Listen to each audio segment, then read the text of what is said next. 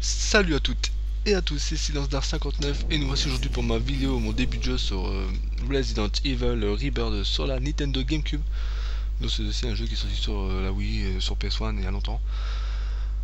Donc on va prendre Jill Valentine, donc ma petite chouchoute. Et on est parti, je vous laisse la présentation, puis après je vous ferai le, referai le petit speech juste après. Hein. Donc vous inquiétez pas, à tout de suite.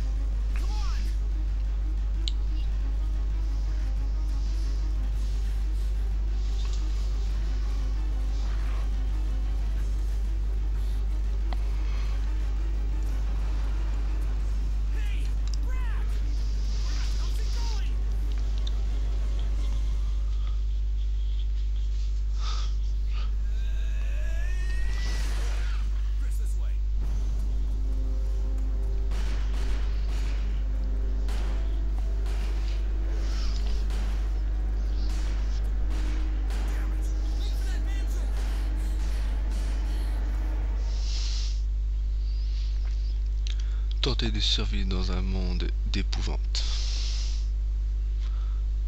Donc là, avec la phrase, elle promet.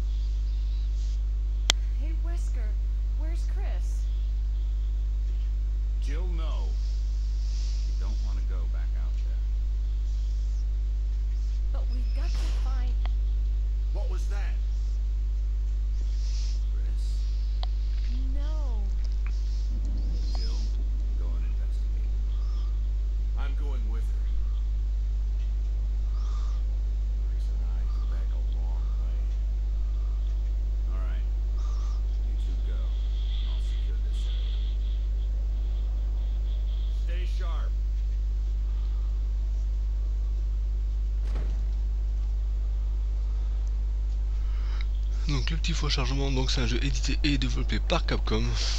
C'est un jeu qui est sorti euh, en, 2002 je crois.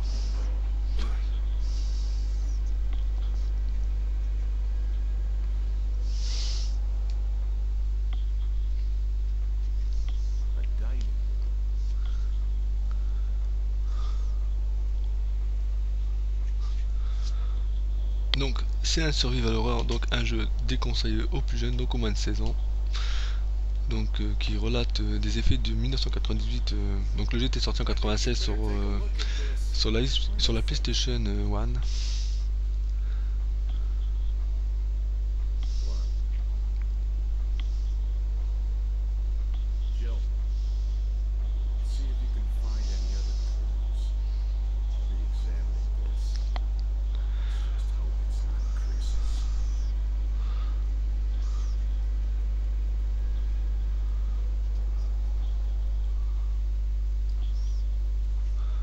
Comme je disais, un jeu qui existait sur la PS1, donc un jeu euh, pareil, pas pareil, graphiquement pas vraiment pareil, donc un jeu qui était censuré à sa sortie en 96, qui a été réédité en Director Cult un peu plus tard, euh, je sais plus vraiment la date, donc avec les scènes qu'ils avaient, qu'ils avaient coupées.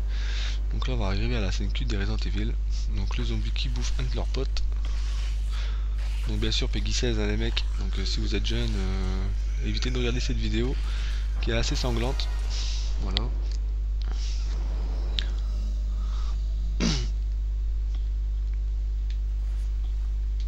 Donc là on va se casser parce que j'ai pas envie de m'affronter ce pauvre con. Donc hop, on va.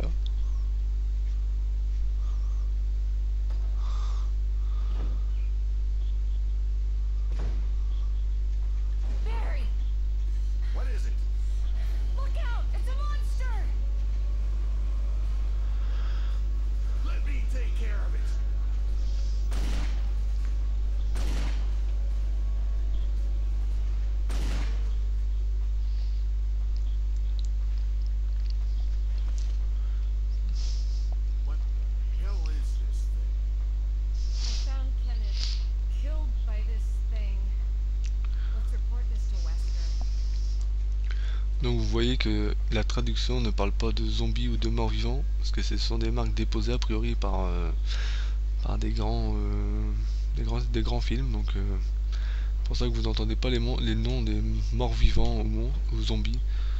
Ils appellent ça des monstres. Donc voilà.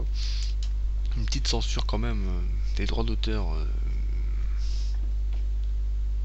que tout le monde a peur. Hein. Donc les petits droits d'auteur un peu par-ci par-là.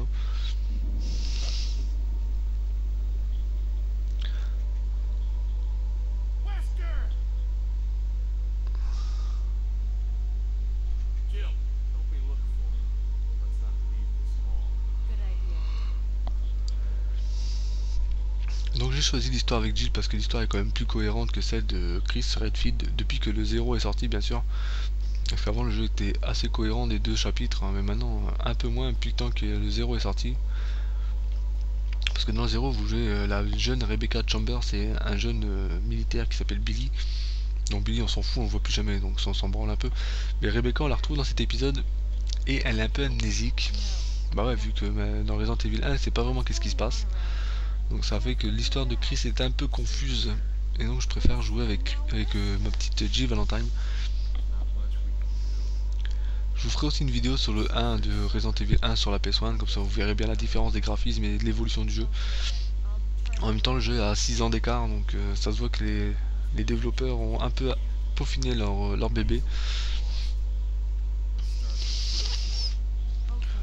On va dire que pour un jeu rétro c'est un jeu vraiment pas mal et vraiment très bien fait. Bon, il y a un petit peu d'aliasing, mais bon, ça c'est un peu parce que j'ai joue sur une grosse télé, hein, une télé HD, donc euh, le jeu n'est pas HD. Ça, on voit un peu la différence, mais c'est pas très très très très grave. Franchement, c'est toujours aussi beau. Je trouve qu'il y a même des jeux PS3 et Xbox qui n'ont pas cette, euh, cette beauté. Hein. On peut dire ça comme ça. Donc vous avez compris, je parle en anglais et sous-titré français. Bon, j'ai parlé pendant scène thématique, qui était pas très intéressante, celle-là, on s'en fout. Il donne juste des, euh, un passe-partout pour ouvrir quelques portes que je devrais ouvrir avec Chris avec des petites clés. Donc ça c'est pas très très important. Hein. On s'en fiche un peu même, si je peux dire comme ça. Donc là, on arrive là. Donc là on peut prendre la, le truc dans la jarre ou aller dans la pièce du fond pour récupérer un poignard d'autodéfense. Donc le poignard je vais le dire, je voulais éviter direct. Hein. Je veux pas. Le verre, je crois que j'ai poussé un peu trop le meuble. Ah tout geste. Donc je vais pas le faire parce que si vous allez là-bas, vous tapez un zombie et pour un poignard, ça vaut vraiment pas le coup. Autant mieux éviter ce combat dès le départ et garder vos balles de flingue euh, direct. Et au moins ça empêchera d'avoir un autre zombie à votre cul. sérieusement. Donc là on récupère la map du rez-de-chaussée. Donc elle me dit d'aller là-bas. Donc on va aller là-bas direct. Donc là on va là-bas. Donc il faut que je descends. Donc aussi l'avantage avec Jill Valentine à part qu'elle soit super mignonne, mais ça c'est que mon truc, euh, c'est que votre inventaire, euh, vous avez un inventaire de 8 cases, donc de 8 objets, sans compter les objets de celle défense qui sont mis à l'écart, donc ça c'est vraiment très bien, parce que comme ça au moins, ça vous prend pas des places pour rien, mais au moins ça, par rapport à Chris qui n'a 6, donc déjà c'est déjà plus intéressant, en plus elle peut crocheter les serrures, donc euh, déjà vous avez moins emmerdé avec les petites clés, Bon, il y a plein d'avantages avec, euh, avec euh, Jill. En même temps, Jill est plutôt considéré comme le mode facile. Donc là, on va récupérer les cuissons là tout de suite. Comme ça, je serai tranquille euh, pour plus tard. Donc hop, on les laisse. On le prend plutôt. Comme ça, je serai tranquille. Donc là, on va aller voir notre copain qui s'est fait tuer juste tout à l'heure devant nos yeux. On y va. Donc normalement le jeu vise automatique. Donc voilà, vous voyez qu'il y a la visée automatique. Donc vous avez juste à, viser et normalement ça pointe euh, ça pointe votre, adversaire. J'ai toujours pensé qu'il me donnait des balles cet enfoiré là. Pauvre con. Donc vous êtes un membre des forces de police, euh, donc une force spéciale, un peu plus spéciale que la police. Donc il s'appelle les Stars, donc une force d'élite a priori. Et donc vous êtes envoyé dans les lieux, euh, dans ce manoir, plutôt dans la forêt de Raccoon City, qui est la ville proche du manoir que vous êtes actuellement, à la recherche de vos compagnons de l'équipe Bravo, qui était appelé en, renfort, qui était en train de même d'enquêter sur euh, de mystérieux meurtres euh, commis dans, la, dans la ville proche de Raccoon City, ou même de Raccoon City je crois, parce que le manoir est quand même assez éloigné. Et donc suite à cette comment dire à cet euh, appel d'urgence ou euh, petit appel d'urgence quoi. Du coup l'équipe Alpha, donc celle composée de Claire, euh, de Claire, de Claire c'est la sœur, de plutôt de Chris et, et de Jill vont aller prêter main forte à voilà j'ai déjà fait tomber en deux balles donc ça c'est bien. Donc là on voit que dans le miroir il y a un truc qui clignote. Donc a priori il devrait se relever le zombie, hein, parce qu'en deux balles tu les tues pas normalement.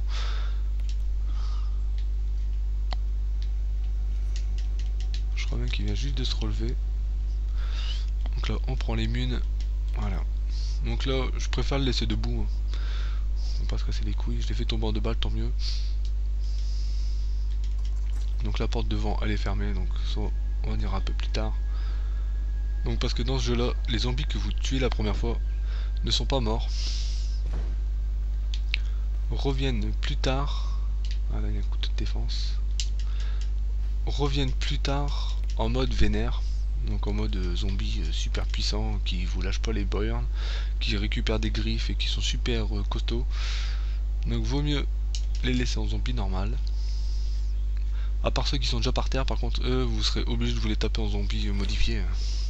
Quand je dis modifié, c'est pas vraiment modifié, mais c'est des zombies plus énervés quoi. Ils appellent ça notre nom, je crois, mais, je sais plus vraiment c'est quoi le nom. Donc moi j'appelle les zombies les zombies vénères.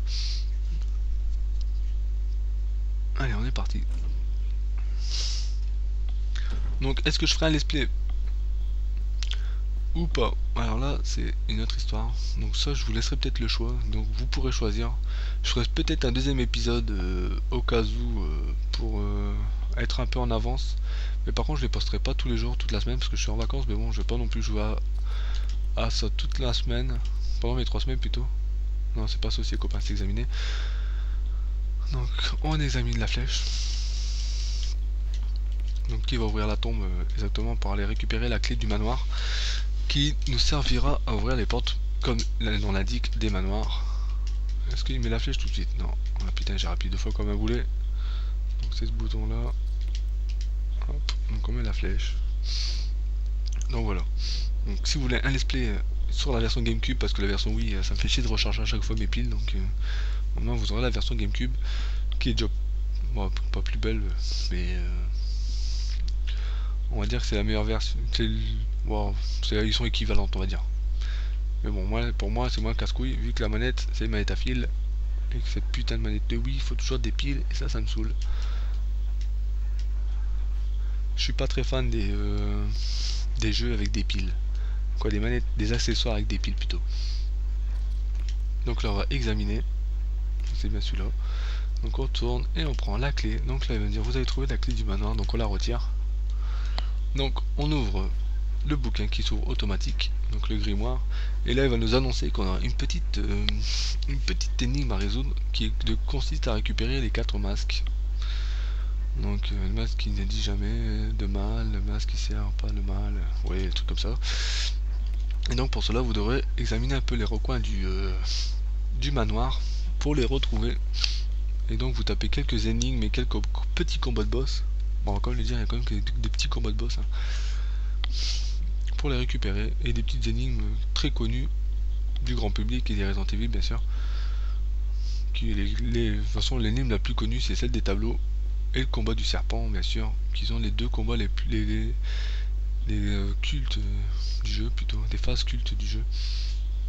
Donc là, on est tranquille. On va continuer notre petit passage. Donc voilà.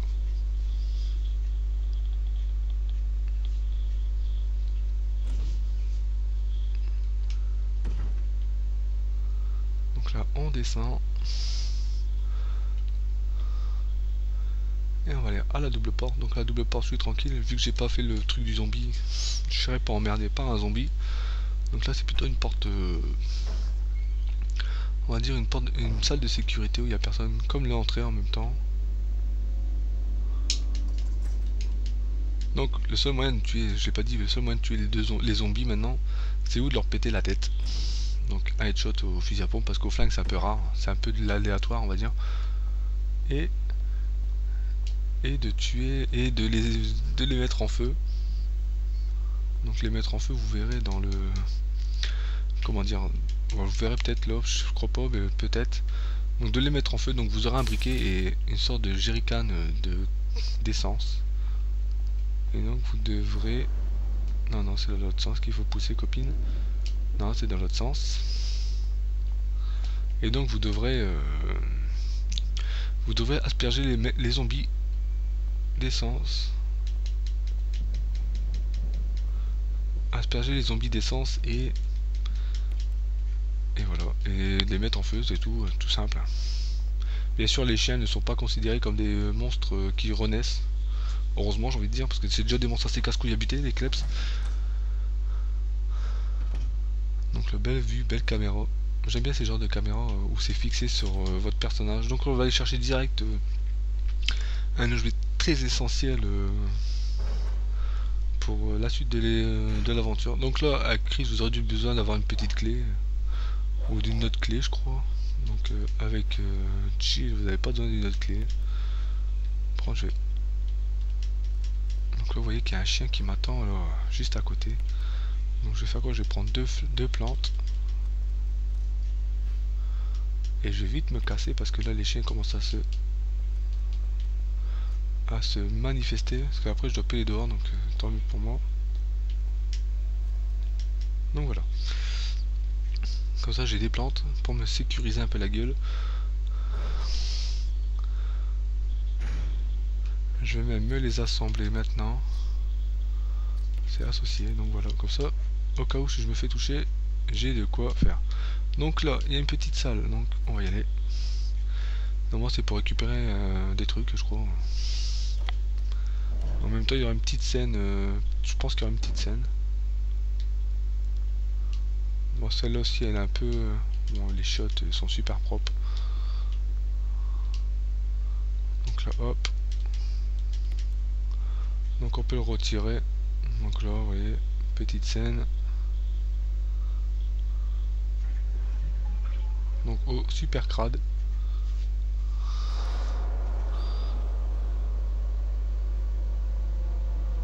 Donc un zombie dans la flotte.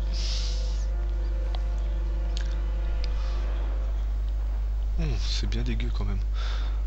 Moi je serais. Moi j'aurais ça devant la gueule, je prêt quand même bien ma race. Je sais pas si elle lui pète la tête tiens, dès le départ. Ah bah si.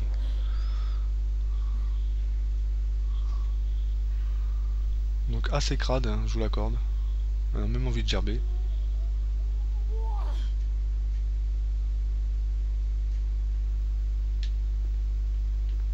Bah tiens, vous voyez que cette scène-là, je m'en rappelais pas, tu vois.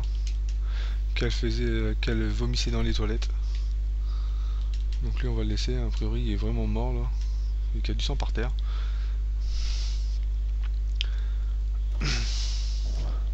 Donc je sais pas encore combien de temps je vais faire, hein. je pense que je vais bientôt arrêter. À la prochaine sauvegarde, j'aurai fini cette première vidéo.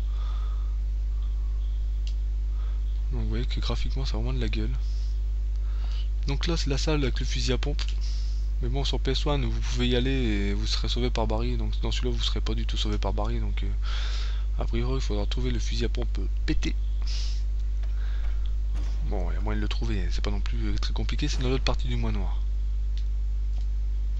Donc là, là, il y a un zombie. Ah non, il n'y en a pas, tiens. Là, sur PS2, sur PS1, il y en avait. Là, il n'y en a pas.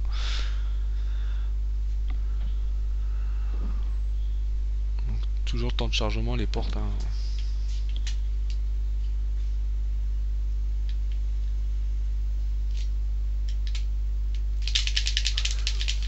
Ah, faut être ta race.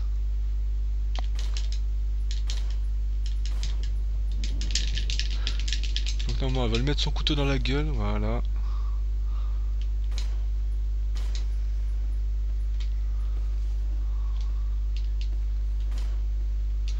Euh, par contre, comment on recharge? Je sais pas même pas si... Ah, il y a encore un zombie en haut. Je sais pas si je l'ai tué, lui, sérieux? Moi, je pense que non. Hein. Normalement, ils reviennent à la vie. Donc, on va aller là-dedans. Je vais aller poser le sac et... Euh, et les cuissons a priori. Peut-être que j'en ai encore besoin. Bon, je sais que je dois virer des choses, hein, donc euh, voilà. Donc là, vous voyez qu'on va récupérer les objets que je vous ai parlé tout à l'heure. Donc il faudra cramer les cadavres. Donc les me à chargeur. Merci. Ah par contre j'ai toujours pas... Ah ouais ok, avec elle on n'a pas le zippo tout de suite. Donc ça ça sert à pour le réservoir. Hein. Donc le réservoir se remplit là-dedans, hein. vous faites ça. Et vous le remplissez, voilà, du kérosène. Et donc on va ouvrir la malle. Donc, donc qu'est-ce que je peux virer? Ça je peux virer ça déjà. On va récupérer mes munitions. Donc y a le tampon encreur hein. et et des rubans Je peux pas les combiner dans le truc, je crois pas. Donc il manque le zippo. Donc on va associer ça. Voilà, comme ça ça fait 75 balles. Bon j'ai ça mais j'ai pas encore le zippo. Donc on peut continuer. Combien j'ai de temps alors j'ai encore un peu de temps. C'est plus sécurisant de sauvegarder mais bon je vais pas le faire tout de suite, on va attendre un peu. Tant pis. Donc comme je l'ai dit, zombie par terre, donc il n'y a plus le sang, mais il est toujours pas mort, hein. vous en faites pas, il va se relever un bout de temps. À un moment du jeu, il va se relever, hein. il va m'en mettre plein la gueule de toute façon.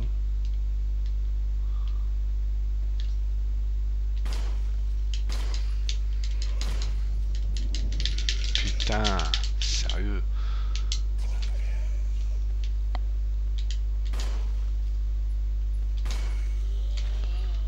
Que je lui vise la gueule, vous avez même pas leur péter la tête quoi, sérieux.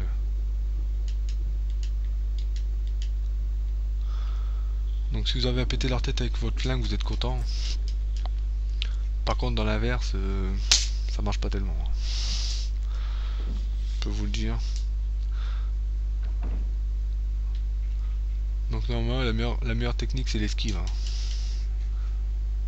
Mais bon, faut être doué dans ce domaine et je suis pas trop.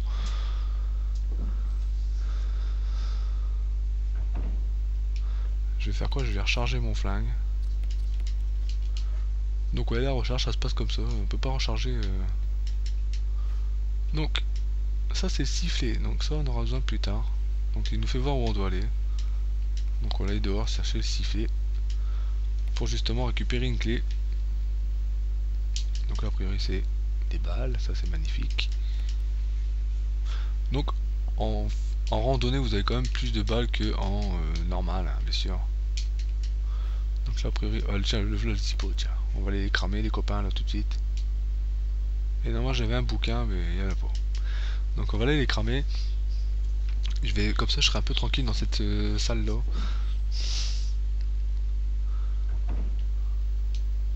Comme ça, vous verrez tout le gameplay tout de suite. Donc on fait ça, on fait utiliser. Ah, comment ça marche déjà cette bras? Faut juste que je me rappelle comment ça marche. Hein. Faut pas m'en vouloir. Non, non, vraiment c'est utiliser. Voilà. Et là, on court forest. Voilà. Ça, vous voyez, on le crame. Et il ne reviendra plus jamais à la vie. Et donc toi on va faire exactement pareil, comme ça je serai déjà tranquille.